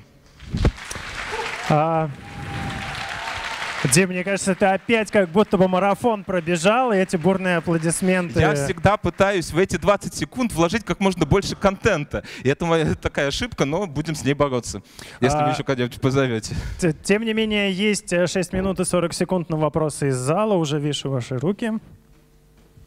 Здравствуйте, спасибо. А что говорить э, в лаборатории инвитро завтра, чтобы за, не за 3-3-3, а за 3-3-3-3 Ничего не говорить, просто приходите, все уже в курсе. Сегодня часть людей была не в курсе, и за это очень сильно получили. Вот Завтра будут знаю в курсе просто, уже точно, точно все. Я поэтому и спрашиваю. Завтра уже все будет хорошо. Ну, ну, Абсолютно точно. Хорошо. А, Добрый вечер еще раз. У меня такой вопрос. То есть вы говорили, а, ну, грубо говоря, прокрастинацию, да? Ты ручка. А, вот спасибо. Вот я тут. А, Вы говорили прокрастинацию, то есть то, что человек, он ну, не может там, в силу каких-то психологических причин делать а, ну, какие-то дела вовремя, да, откладывает дела на потом. Какова, на ваш взгляд, все-таки причина, по которой люди, большинство, да, там, ну, в России в частности, не способны это делать? Спасибо. Вы знаете, я почитал достаточно, если серьезно говорить, почитал достаточно много разных исследований, социологических и психологических исследований. На самом деле а, расстановка дедлайнов — это определенная психологическая игра, которая нам помогает что-то сделать. Вот то, что я вот в первой половине а, этого выступления показывал эту цепочку, что а, российский человек дожидается дедлайна и начинает работать, вот, собственно, для этого в большинстве случаев дедлайны и ставятся. И эта э, ситуация не уникальная, потому что исследования читал не российские. Поэтому ничего с этим не надо делать. Нужно принимать, э, если вы такой человек, нужно это принимать и стараться успевать, даже включаясь в последний момент, выполнять э, то, что вы должны сделать. Вот и все. А, Пока народ думает, вопрос от меня. Мне кажется, что у, э, у людей примерно, кстати, к 30, у кого-то пораньше, у кого-то попозже, появляются некоторые лайфхаки по поводу самого себя. Ну, то есть кто-то прекрасно знает, что он адский прокрастинатор а, в определенных, например, э, сферах своей жизни, но как-то с этим научается жить. Вот есть ли у тебя личные лайфхаки, как ты э, борешься с желанием дотянуть до последнего? А я загружаю себя как можно больше работой, и тогда у тебя ее столько, а, что тебе нечего откладывать.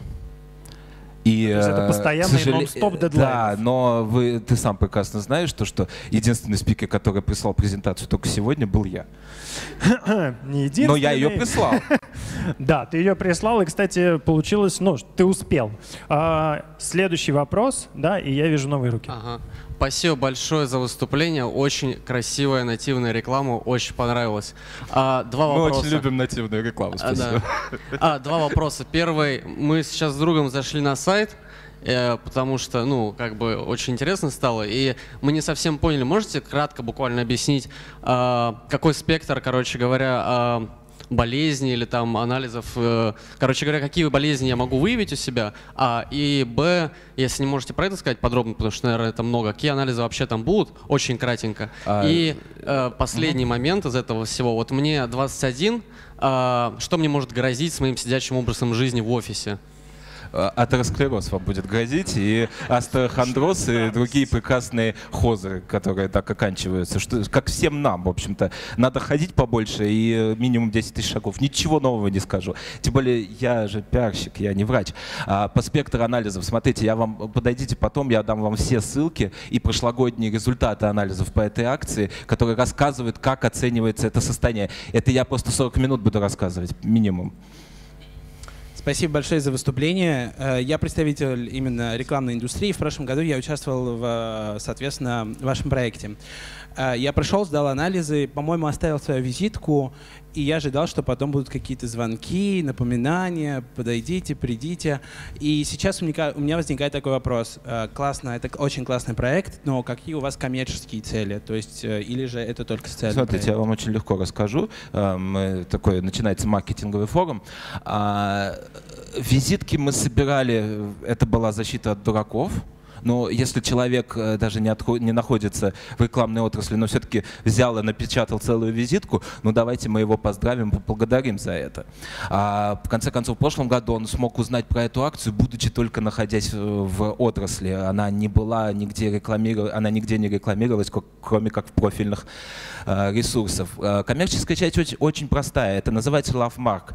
А, Когда люди приходят в медицинскую клинику, они в 99,9 слу- процентов случаев приходят, когда у них есть определенный негатив.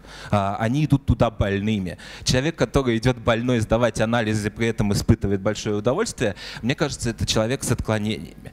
И поэтому большинство людей все-таки идут э, как на некоторое очень неприятное дело, и все-таки они не очень рады туда ходить. Поэтому, когда мы проводим какие-то определенные профилактические акции, у нас их довольно много, это не единственное, то человек, а, будучи здоровым туда проходя, испытывает гораздо более позитивные ощущения. А потом, а, да, там 15% только здоровых, но там 70% с очень маленькими отклонениями. Он, он чувствует себя а, выполнившим очень правильное дело. Он чувствует, что он вовремя о себе вспомнил. И э, исправить эти ситуации очень легко. Там, иногда достаточно просто хотя бы неделю не пить и э, не, не есть ночью гамбургера. Уже э, через месяц будут отдельные прекрасные результаты. И то, что мы этим напоминаем, это для нас как раз построение этого позитивного ощущения бренда. Дмитрий, здравствуйте. А, Спасибо большое за очень интересное, содержательное выступление. Это, на мой взгляд, была лучшая спонсорская интеграция, которую я в своей жизни видел. А вопрос у меня следующий. Вот за 30 секунд успею уложиться. А обычно же как, когда человек что-то делает или не делает, за этим стоит определенная ценность. Ну, вот, например, мне не нравится моя работа, но там привычно, недалеко от дома, и Леночка в бухгалтерии красивая, поэтому я продолжаю там работать. Соответственно, если человек делает чекап или не делает чекап, если он делает и идет сдавать анализы, то за этим стоит какая-то ценность. Если он не следит за здоровьем и не делает чекапы, то это, за этим тоже стоит какая-то ценность. Вот как думаете, для чего, почему для некоторых людей может быть важно не следить за здоровьем и ждать дедлайн? А для некоторых людей может быть очень важным не следить за здоровьем, потому что они а, относятся к виду ипохондриков. И когда человек начинает очень сильно внимательно следить на за своим здоровьем, сдавать анализы каждый день а, и смотреть, как у него отклоняется. Но это, знаете, бывает у людей, которые пережили преддиабетическое состояние, и потом у меня бабушка такая, каждый день колет себе палец и смотрит, что там с сахаром случилось. А, вот это делать совершенно не обязательно. А, нужно вот здесь я не помню, кто передо мной говорил, нужно счастливо жить а, и любить эту жизнь. И вот если вы любите эту жизнь, а, вы будете здоровы го- гораздо дольше. Наш основатель говорит очень хорошую фразу, видимо, на ней я и закончу. А, человек умирает тогда, когда ему больше незачем и не хочется жить. а, устроено а, и хэштег тоже не забывайте, чтобы, может быть, вам тоже досталась книжка и худи от Инвитро. Ну а мы продолжаем. У нас еще две истории и два героя. Стас пока поднимается на сцену, а я его представляю. Стас э, Гайворонский, создатель книжного магазина Ходосевич. А поднимите руку, кто бы... А, это страница из дневника Лоры Палмы, главная героиня Твин Пикса. Она много чего успевала и, наверное, планировала, но ее убили первой. А, по- поэтому я и не хочу ничего планировать, и вообще мне это немножко страшно. Вот, и, я думал, что надо по 40 секунд готовить тексты. Вот, пришлось их сокращать. Это мужики лезут на книжный магазин. А тут я хотел сказать, что есть э, люди, которые все делают в последний момент, а есть люди, которые все делают в первый момент. И я, конечно, все делаю в последний момент, но зато все получается нахрапом, на амбразуру, э, с полной отдачей и быстро, ну или не получается. Вот. Дети делятся на две категории. Это дети пятницы и дети воскресенья.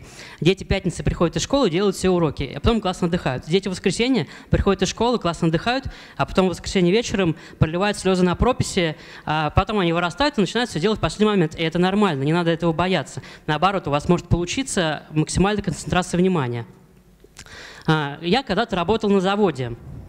И там я плавил алюминий. И все рабочие завода, они делали что-то только потому, что боялись, что над ними надругается начальство. И что-то они делали тоже по той же причине, что над ними надругается начальство. Ну, конечно, они говорили это а, совершенно матерными словами. Вот. Это Майкл Дудиков, а, герой 80-х годов из а, боевиков категории «Б». Вот его самурайским мечом мы порежем все наши списки дел. И просто будем отдыхать и не напрягаться. Можно даже помолчать пару секунд. Вот. А, устройте себе рабочий выходной. Просто ходите по дому в пижаме, плыв- плывите по дому как Ихтиандр, танцуйте как Жан-Клод Ван Дам в этом прекрасном фильме. И делайте только то, что вы вспомните, что надо сделать, и то, что вам приятно. Опять надо немного помолчать. Да, я специально просто молчу, чтобы перевести дыхание и показать, как я а, на самом деле все быстро и ловко делаю. Значит, эм, ну, тут я забыл, что я хотел сказать. А, я хотел сказать про то, что один мой друг говорит, я не хочу писать книгу, боюсь, у меня получится, как у Набокова. Я ему говорю, как у Набокова у тебя не получится, не волнуйся. А у каждого получится по-своему, у каждого человека свой синтаксис. И у вас получится фигово, но, но так фигово получится только у вас. Вот, это мистер Зорг из фильма «Пятый элемент». Он был э, контрол-фриком. Это совершенно не страшно. Просто кто лучше что-то сделает, э, чем вы? Вот он говорил, что хочешь сделать хорошо, делай это сам. Правда, в конце он взорвался, если вы помните, от своей же заложенной бомбы. Вот. Э, тут я хотел сказать, что не только что я очень счастлив, потому что, конечно, если бы я э, писал бы списки, то был бы несчастлив. Я хочу сказать, что я не пишу списков, я выбрал только как в сказке. Три каких-то дела. Первое дело, это самое важное, от которого ты там сдохнешь или тебя квартирная хозяйка выгонит на улицу, то есть заплатить аренду. Второе дело, это какое-то тоже важно, но его надо поручить какому-то своему помощнику. А третье дело нужно оставить на завтра, вдруг оно рассосется как-нибудь и само куда-нибудь денется. Вот это просто символ меня и моего книжного, потому что книга — это не рыба. Рыба протухнет, будешь сидеть с ней, а книги можно продавать лет 10 а одни и те же. Вот. Это, это Любищев, отец э, советского тайм-менеджмента. Вот, и он говорил, что я ненавижу срочные дела. Я подумал, вот это да. Я тоже ненавижу срочные дела и не хочу. Вот люди пишут, типа, сделайте это, заранее спасибо. Да фиг себя, не заранее спасибо. Что ты мне манипулируешь? Короче, пожалуйста, не ведитесь на это, заранее спасибо. Это капитан Пауэр «Салаты будущего». Он говорит, включи энергию. Это надо включать энергию, когда нужно делать много какой-то мелкой фигни. Я это научился делать, когда работал на почте. Пенсионный фонд прислал 10 тысяч писем пенсионерам. И мне начальница говорил, давай, давай, раскладывай, раскладывай их по ячейкам, эти 10 тысяч писем. Потом а, звонил пенсионер в окошко, чтобы получить письмо, он кричал, на глаз себе нажми. А, это иллюстрация глупого коллекционирования. Это про то, что а, я а, если вы хорошо поработали, надо хорошо потупить. Но не только там в социальных сетях. Можно, например, заниматься классными вещами, но в классификаторе нет еще таких профессий, потому что я больше всего люблю рисовать э, винные бутылки, которые я выпил, играть в игрушки моих детей, когда они спят, и просто валяться на кровати с макбуком. Вот тут можно немножко помолчать, посмотреть на эту прекрасную картинку. А, я вот примерно так и рисую, но зато я делаю от души. Вот, и всем вам советую делать то же самое. Вот. И знаете, что у всех все фигово. У всех там какие-то кожные проблемы, кассовые разрывы, там, не хватает там денег выплатить аренду, что-то еще, там, сотрудники тупые. Просто никто об этом не говорит. Шпионьте за другим, за своими друзьями, и тогда вам будет легче жить. Вот. И также быстро соображайте. Вы же прекрасно видите, что это девочка с велосипедом. Ну, я это утверждаю не только потому, что это моя дочка, но это не пиксель-арт. То есть я специально хочу сказать, что и так все понятно, что тут есть. То есть надо быстро соображать, тогда у вас будет куча свободного времени, которое можно потратить будет на всякую фигню. Приятную. Вот, метод Тома Сойера. Заставьте всех э, на вас работать, и чтобы это было приятно. Помните, Том Сойер заставил всех друзей красить забор, и ему еще за это всякие смешные штучки давали его друзья. То есть, если вам нужно кого-то слить, слейте человека так, чтобы он просто на крыльях радости от вас слетел, как будто ему дали путевку в жизнь. И люди не знают, что есть такая прекрасная работа, которую вы можете им поручить. Вот. вот. У меня через один. Я тут опять забыл, что я хотел сказать. Но, наверное, я хотел сказать, что нужно направлять луч концентрации на самое главное дело, тогда вы что-нибудь добьетесь. Потому что Нельзя быть 5 минут там в день писателем, 5 минут фотографом, 5 минут дизайнером. Нужно... Вот эта классная картинка из болгарского фотожурнала.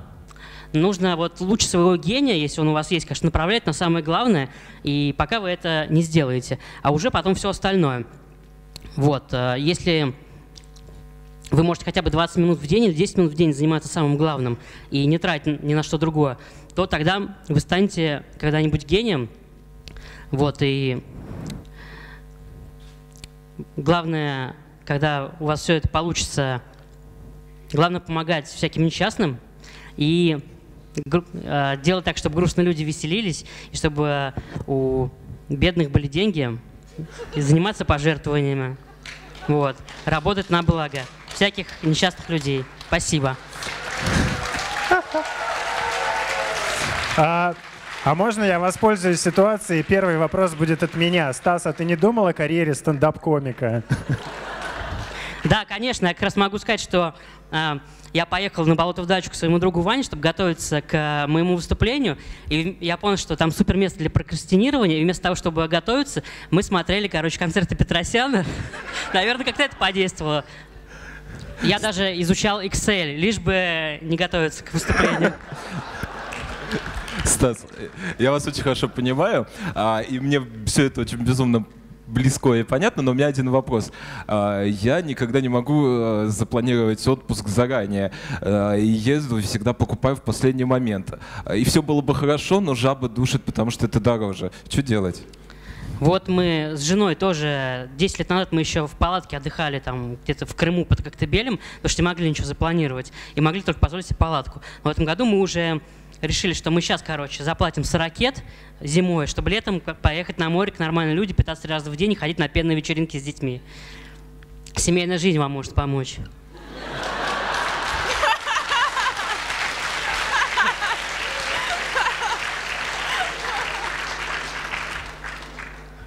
А, Добрый вечер. Спасибо вам за огненное выступление. А, У меня такой вопрос. Вот я слушала вас, и я честно не верю в то, что а, вы действительно так много бездельничаете, как вы об этом много говорите. А, Ну, наверное, невозможно сделать даже вот эту шикарную презентацию, это шикарное выступление, ничего не делая. Вот такой вопрос у меня. Да, правда. На самом деле нифига. Просто мне повезло, как всегда. Я, не- я до того, как вышла, я просто думал, что сейчас, не знаю, у меня штаны свалятся или там в горле пересох, начнется паническая атака. Но видите, опять пронесло. Я просто везучий. А, Привет. Во-первых, это Привет. действительно самый лучший книжный стендап, который я слышала в своей жизни. Это было очень смешно и очень круто. Спасибо еще раз. А, назови, пожалуйста, три самых тупых занятия, которым ты занимался. Да, три, это их, их 333. Практически каждый день я занимаюсь чем-то тупым, потому что, опять же, семейная жизнь — это только одна сторона, там, хорошая, а другая, что нужно постоянно бегать в детский сад обратно, там, в школу обратно, какие-то там читать э, группы в э, эти чаты, родительские чаты. Вот, потом... Но, опять же, работа на заводе была очень тупая. Работа в библиотеке была очень тупая. И на почте была очень тупая. В общем, пока я не начал свое дело, все было очень тупо. И я даже не ожидал, что это так круто. Поэтому всем рекомендую начать собственное дело.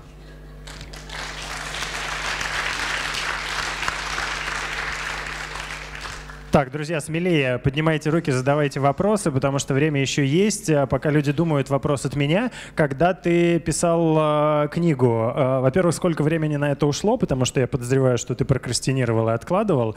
И как ты э, там, у тебя были какие-то обязательства перед условным издателем или перед кем-то, или ты просто забивал и писал, когда тебе хочется? Я забивал, писал, когда мне хочется. Я, ну, если по времени, это было, наверное, месяцев 8, а на деле, наверное, часа 3, потому что я и писал, и не писал. Потом просто меня стимулировали, решил устроить крауд на планете, чтобы собрать деньги. Тогда понял, ну теперь, сука, точно надо все дописать, потому что люди же будут ждать, скидываться деньгами. Вот это мне помогло все закончить. Но еще вот, конечно, Лена, которая мне все время пересылала сайт, эти верстку туда-сюда, там все мы выверяли ошибки, и без нее, конечно, книга бы тоже не состоялась.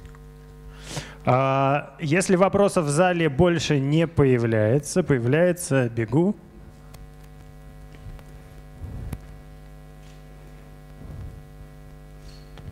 Спасибо большое. А, Ну, у меня просто из любопытства такой вопрос. Если сейчас вы занимаетесь тем, что вам нравится, да, книжный магазин и писательство, видимо, тоже время от времени, а, чего такого неприятного от вас могут хотеть люди? Вот вы говорите, пишут, что-то просят, потом заранее спасибо, как бы пытаются вами манипулировать. Да. Чего они от вас хотят? Ну, самое, может быть, такое, чего вам не хочется делать. Ну, потому что, там, в их понимании, я стал чуть-чуть известным, и они хотят от меня всяких коллабораций. Они считают, что я, извините за выражение, инфлю- инфлюенсер, и со мной нужно провести коллаборацию. Вот, и это все...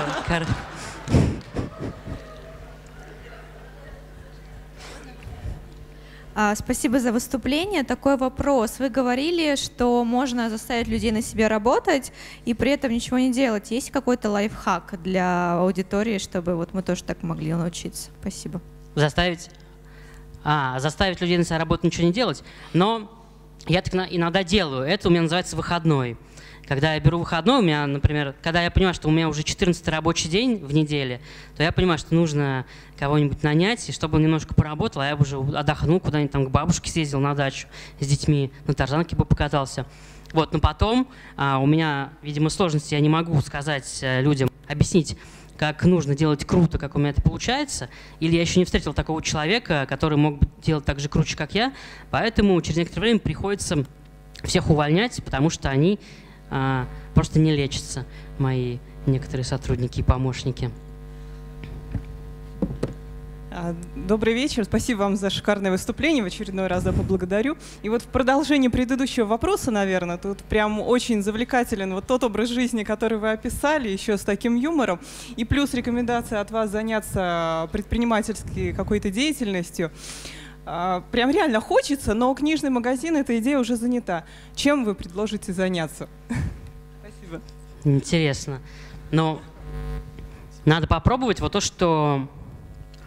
А, вот есть, например, вот, вот Моцарт и Сальери, например, а, Сальери, он будет там что-то делать, делать, делать, там стругать, писать, писать, там потеть, а Моцарт, он просто полетит и всех победит. Просто вот, просто вот гений, и надо делать то, что у вас получается проще всего, легче всего и само по себе. Вот, но только никому об этом не говорите, а то тоже все это захотят. Вы найдите у себя такое какое-нибудь там дело, то, что у вас вообще только в радость и без всяких там проблем. Вам потом проблемы нанесут еще, когда вы начнете все оформлять там официально свои мечты, вам там устроят.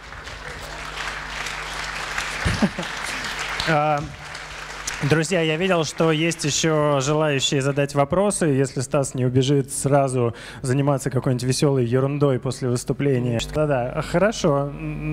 Я, наде... я надеюсь, что ты ее прочитаешь. И подарок от Инвитро тебе тоже э, достается, чтобы когда поедешь к бабушке на дачу э, кататься... Не замерз там. На тарзанке, да, потому что сейчас уже похолодало, чтобы ты Спасибо. вот не болел и мог работать без выходных еще подольше. Э, потому что я понимаю, что в Ходосевиче без тебя э, никто не справится. Еще раз аплодисменты и спасибо тебе огромное за это выступление. И да, передай большое спасибо и привет Ивану Митину, у которого ты был, очевидно, на Болотов даче, где вы смотрели Петросяна. Помогло. Очевидно, помогло, потому что я сильно переживал я переживал за твое выступление, постоянно заходил в Google Doc посмотреть, что нового ты там дописал, а ты ничего не дописывал, да. А, а Ваня Митин присылал мне смешные фотографии, а, как они, значит, готовятся к выступлению. А, ну что, мы почти, а, почти, почти, да, мы на финишной прямой. Наташа Киселева поднимается на эту сцену. А, писатель, журналист. История будет, наверное, не такая веселая, но очень... Сори сразу. Но, но очень жизненная и очень важная, на наш взгляд. Поэтому мы решили пригласить э, Наташу выступить сегодня здесь, на этой печь-куче. Э, месяц со смертельным диагнозом, так называется выступление. Если нужно какое-то интро, чтобы представиться, у тебя есть эта возможность. Если а, нет... Ну, у меня не будет интро. Я, как и все остальные спикеры, прислала презентацию сегодня. Поэтому... Не все. Не все спикеры. Ну, последние три спикера. А, поэтому у меня презентация, поскольку у меня будет эмоциональный рассказ, я решила, во-первых, потому что мне было лень, потому что Димка говорил, пришли, пришли быстрее уже что-нибудь. У меня будет самая содержательная презентация на сегодня, мне кажется. Да? Поэтому больше я ничего не буду говорить. Запускаю? Да. Погнали. А, четыре года назад мне поставили диагноз рак. Врач э, сказал, что у меня какое-то сложное заболевание, венозное. Я предложила ему помазать, чем-то там рассосать, расчесать, потому что у меня были дедлайны, я была пиарщиком, и мне срочно-срочно нужно было ходить на работу. У меня было не до лечения, не до а, больниц, не до операции, но врач сказал, что, Наташа, тебя Заболевание такое, что у тебя осталось два, ну максимум три года, твой дедлайн два или три года, и мы, ну никакой крем не поможет рассосать опухоль э, диаметром в 5 сантиметров. А, я э, подумала, да, окей, два года. Так, что я должна сделать за эти два года? Первое, что я начала, это, естественно, реветь. А, и я на, э, ну, на свою истерику и на рев себя отложила годов, и поэтому а, у меня появился просто друг краб, мой друг краб. Мы говорили об этом с друзьями в кафе, еще где-нибудь, никто не понимал, что у меня за друг краб. но так э, мне было проще, моим друзьям немногочисленным было проще. Итак, то, что я хотела сделать за 40 лет, должна сделать за 2 года. А, я вычеркнула просто из своей головы все-все ненужное, что ну, мне казалось, что это очень-очень важно. Мне казалось, что очень важно а, успеть э, то, что я себе сама придумала написать книгу, выйти замуж, выучить итальянский, снять фильм. И все мне это теперь нужно сделать не за 40. Окей, но если так нужно, у меня будет смерть через два года. И я решила устроить вечеринку. Я собрала всех своих друзей, всех знакомых, чтобы отпраздновать жизнь. На самом деле я улетала в Израиль на лечение, но поскольку я очень много путешествую, все подумали, что Наташа снова куда-то летит. Ну и снова какая-то вечеринка. А, и вечеринка была а, с моим другом Крабом. Все думали, когда же он придет, но Краб, поскольку уже был, как я тогда думала, во мне, Краб все не приходил. так я полетела в Израиль, и в Шереметьево я прочитала РИА Новости, что Израиль начали бомбить. Я думаю, ну супер. А, если я не умру от рака, значит, я умру от бомб, и даже чем меньше, чем два года, я не выучу, выучу итальянский за два дня, или не выучу в Шереметьево, не выйду замуж, потому что, ну, за кого здесь в Шереметьево выйду замуж. А, мы а, прилетели, я прилетела в Израиль, действительно нас бомбили, и мне на самом деле повезло, что бомбили, потому что я перестала бояться бояться своего друга Краба, потому что нас уводили в бомбоубежище каждый, каждый день по 3-4 раза в день, и мы сидели очень эпично иногда в подвале и смотрели CNN, а, и я снова думала, во-первых, зачем а, мне этот друг краб? А, во-вторых, что же мне успеть за эти два года? Я понимала, что я останусь в Израиле где-то на 8 месяцев, потому что у меня будет повторная операция, химиотерапия, лучевая терапия. И я постоянно задавала себе вопрос, зачем, зачем, зачем мне это нужно? Это же какое-то испытание, что я должна понять? И поскольку Таль-Алив бомбили, единственный город, который не бомбили, это был Иерусалим, и я поехала в Иерусалим. У нас был ужасный какой-то гид. Мне хотелось его убить. Подумала, что ладно, у меня два года, у тебя есть два часа. А, мы доехали до Иерусалима, и всю дорогу мне говорили, что напиши записочку, напиши записочку, э, напиши записку, чтобы что-то попросить. Мне нужно было попросить огромное количество всего.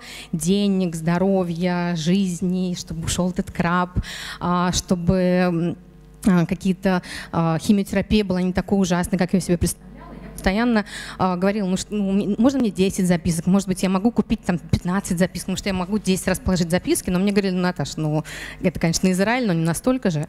А, и а, мы приехали, я думала, господи, что мне делать с этими записками? Мы приехали в Израиль, мне позвонил мой врач и говорит, а ты где? Я говорю, ну, я могу, я в Иерусалиме, но могу вернуться. Он говорит, ну, мы а, все проверили, у тебя нет рака. Я говорю, э, в смысле? Ну, русские врачи ошиблись, у тебя нет рака. Ну, мы поставляем 1%, но вообще у тебя точно нет рака. А, я жила уже с этим месяц, я уже себе все запланировала заново. Мне сказали, что у меня нет дедлайна. А, я, естественно, написала записку с одним словом «спасибо». А, и, потому что мне больше нечего было сказать, голова моя взрывалась абсолютно. Я пришла в свой номер отеля, приехала, и чтобы голова не взорвалась, написала большой-большой пост и пошла в душ быстро. И когда я повернулась минут через три, э, я увидела, что там какие-то адские количество перепостов, лайков и всего остального. Мне уже написала Лика Кремер, эту колонку потом переписал Сноп и даже «Комсомольская правда». А, и э, огромное количество людей, там перегнали к Шусу Собчак, может, что такое, а, огромное количество людей э, мне начали писать, причем, ну, для меня это, понятно, было второе рождение, я поняла, зачем мне это нужно было, чтобы понять, что мир прекрасный, что мои требования к нему, и можно быть счастливой, не уча итальянский, не написав книгу, не сняв фильм, что прекрасно говорить сейчас с вами, держать микрофон, прекрасно, ну все вообще в принципе, прекрасно, что сейчас, сейчас такой классный октябрь, и прекрасно, что у меня больше нет краба. И э, важная еще одна миссия, которая мне кажется, зачем мне это нужно было а, все это прожить, потому что огромное количество людей, а, моя колонка, моя история поддержала сериалы по всему миру. Мне пишут до сих пор, 4 года прошло, пишут до сих пор люди, а, у кого есть диагноз, у кого нет диагноза, кому родителям поставили диагноз, или кто-то на последней стадии, или кто-то просто в депресснике, у кого-то муж козел, но моя история почему-то все равно помогает этим людям. А, и это очень круто понимать, что ты помогаешь а, другим людям, ну просто тем, что ты что-то прожил, и люди тоже устраивают вечеринки, меняют рака на краба, и еще раз за этот опыт и за то, что вы меня послушали, хочу сказать большое спасибо. Спасибо.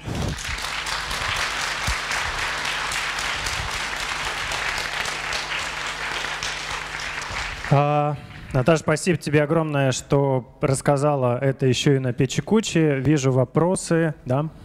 А, большое спасибо за рассказ. На самом деле очень интересно узнать ваше мнение по поводу того, как сделать так, чтобы люди без краба начали ценить жизнь.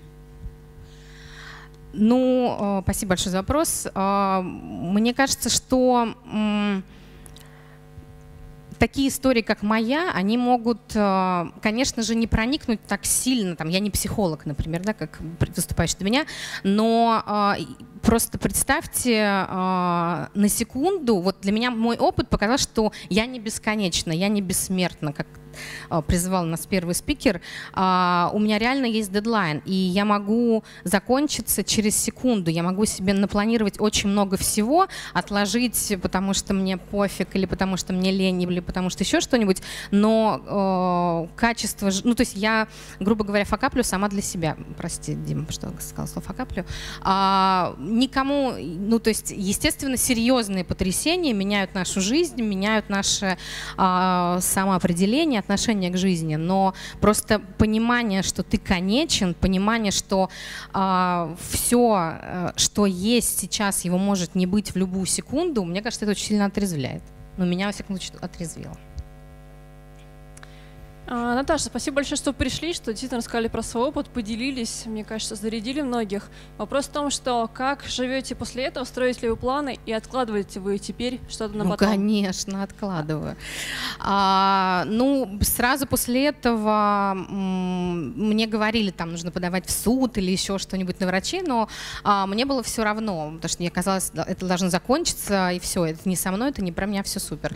А, конечно же, ну, то есть я, мне кажется, до сих пор пребываю в неком а, анабиозе таком немножко блаженном, потому что, ну, я действительно стала кайфовать от жизни. Я была супер требовательной к друзьям, к себе, ко всему. Все не так, у всех так классно, а у меня нет. У меня лучше всех, потому что у меня нет этого дурацкого краба. А, и, ну, потом я вернулась к своей жизни, я прекрасно живу, и а, через какое-то время, недавно, буквально несколько месяцев назад, я поняла, что эту историю я хочу рассказать другим языком уже, как раз Дима предложил выступить здесь, и сейчас я снимаю короткометражку художественную про эту историю именно для того, чтобы рассказать еще больше, ну, больш, большему количеству аудитории, потому что, ну, история, правда, я не знаю почему, но заряжает всех даже без диагноза. Наташа, спасибо огромное вам за вашу историю. А, у меня такой к вам вопрос даже несколько. А, любите ли вы до сих пор крабов? И еще такой вопрос. А, вот вы говорили о том, что у вас были какие-то определенные цели. Я так понимаю, что они у вас были не в промежутке два года, да, а на, ну, как бы на всю жизнь. Достигли ли вы этих целей каких-нибудь? Вот за то время, которое прошло с того момента, как вы поняли, что все-таки у вас нет краба. Да, спасибо. Про крабов, ну, естественно, да, потому что это был для меня некий образ замены, понятной, ну, психологической замены. Ну, у меня само слово рак, оно меня просто пугало.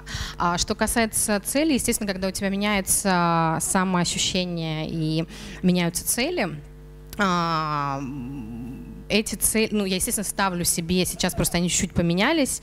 А, я хотела снять кино про другое абсолютно, но поскольку, ну, мне правда пишут до сих пор со всего мира, я поняла, что, возможно, нужно снять именно этот фильм, а не снимать про ту фигню, которую я думала очень важно 4 года назад. Ну, цели я, конечно же, ставлю и добиваюсь. Иногда нет.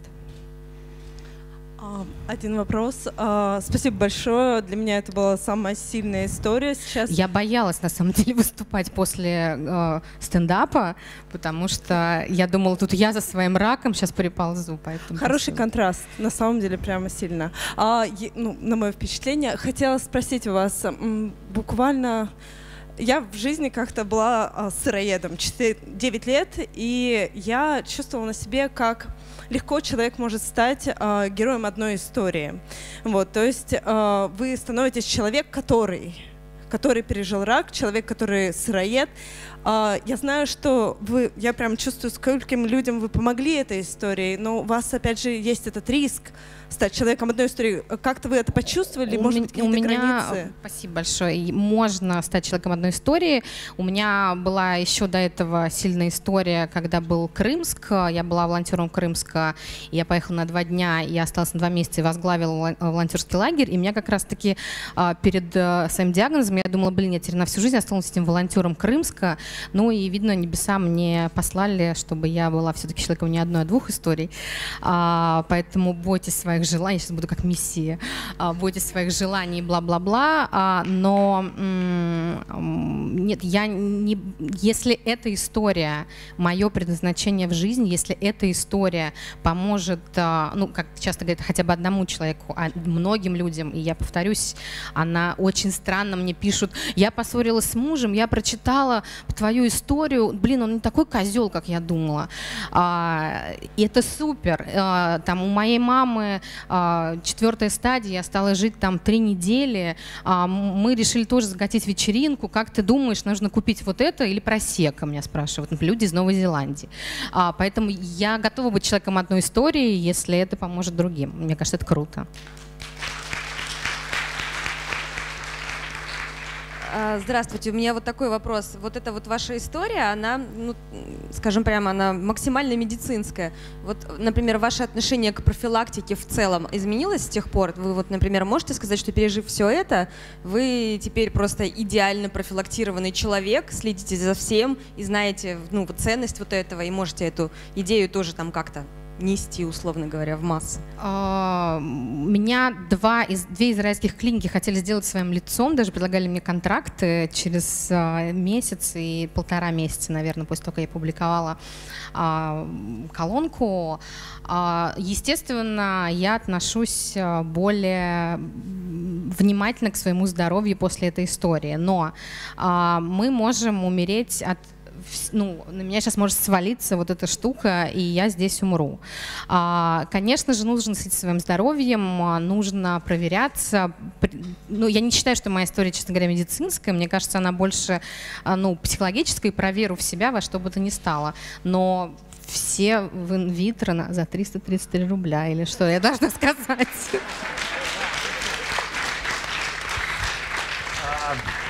Сожалению, э, к сожалению, Спасибо у нас огромное. дедлайн, время закончилось. Но, Наташ, тебе нужно выбрать автора вопроса, который тебе понравился больше всего, или реплики? А мне больше всего понравился вопрос про а, человека одной истории, потому что я хочу, чтобы вы, например, для себя этого не боялись. Если вы будете человеком одной истории, ну, есть люди вообще без истории, мне кажется, это гораздо хуже. А, подходите за книжкой, она вам достанется. Тебе тоже достается книга от Ман Иванов и Фербер и худи от Инвитро. Подожди секундочку. Когда будешь закатывать вечеринки на улице, это вот очень тебе пригодится и поможет. А, аплодисменты Наташе. Друзья, ну что, почти, почти все. Единственное, а, еще одно приятное объявление. А, наши новые друзья и партнеры, которые производят прекрасный смузи Naked, они чуть-чуть опоздали к началу, поэтому, когда вы будете уходить, на стойке регистрации стоит очень-очень много бутылочек со смузи. Они вот так выглядят, а, разных вкусов, разных цветов. Вы можете совершенно спокойно брать это с собой и наслаждаться по дороге домой или дома. Ну и спасибо вам огромное, что пришли. Спасибо телеграфу и спасибо инвитро. А, да, и не забывайте, что завтра и послезавтра, правда, эта акция работает. Ну, то есть э, попробуйте не профокапить и не, э, Наташа, спасибо, что напомнила, и не э, переотложить этот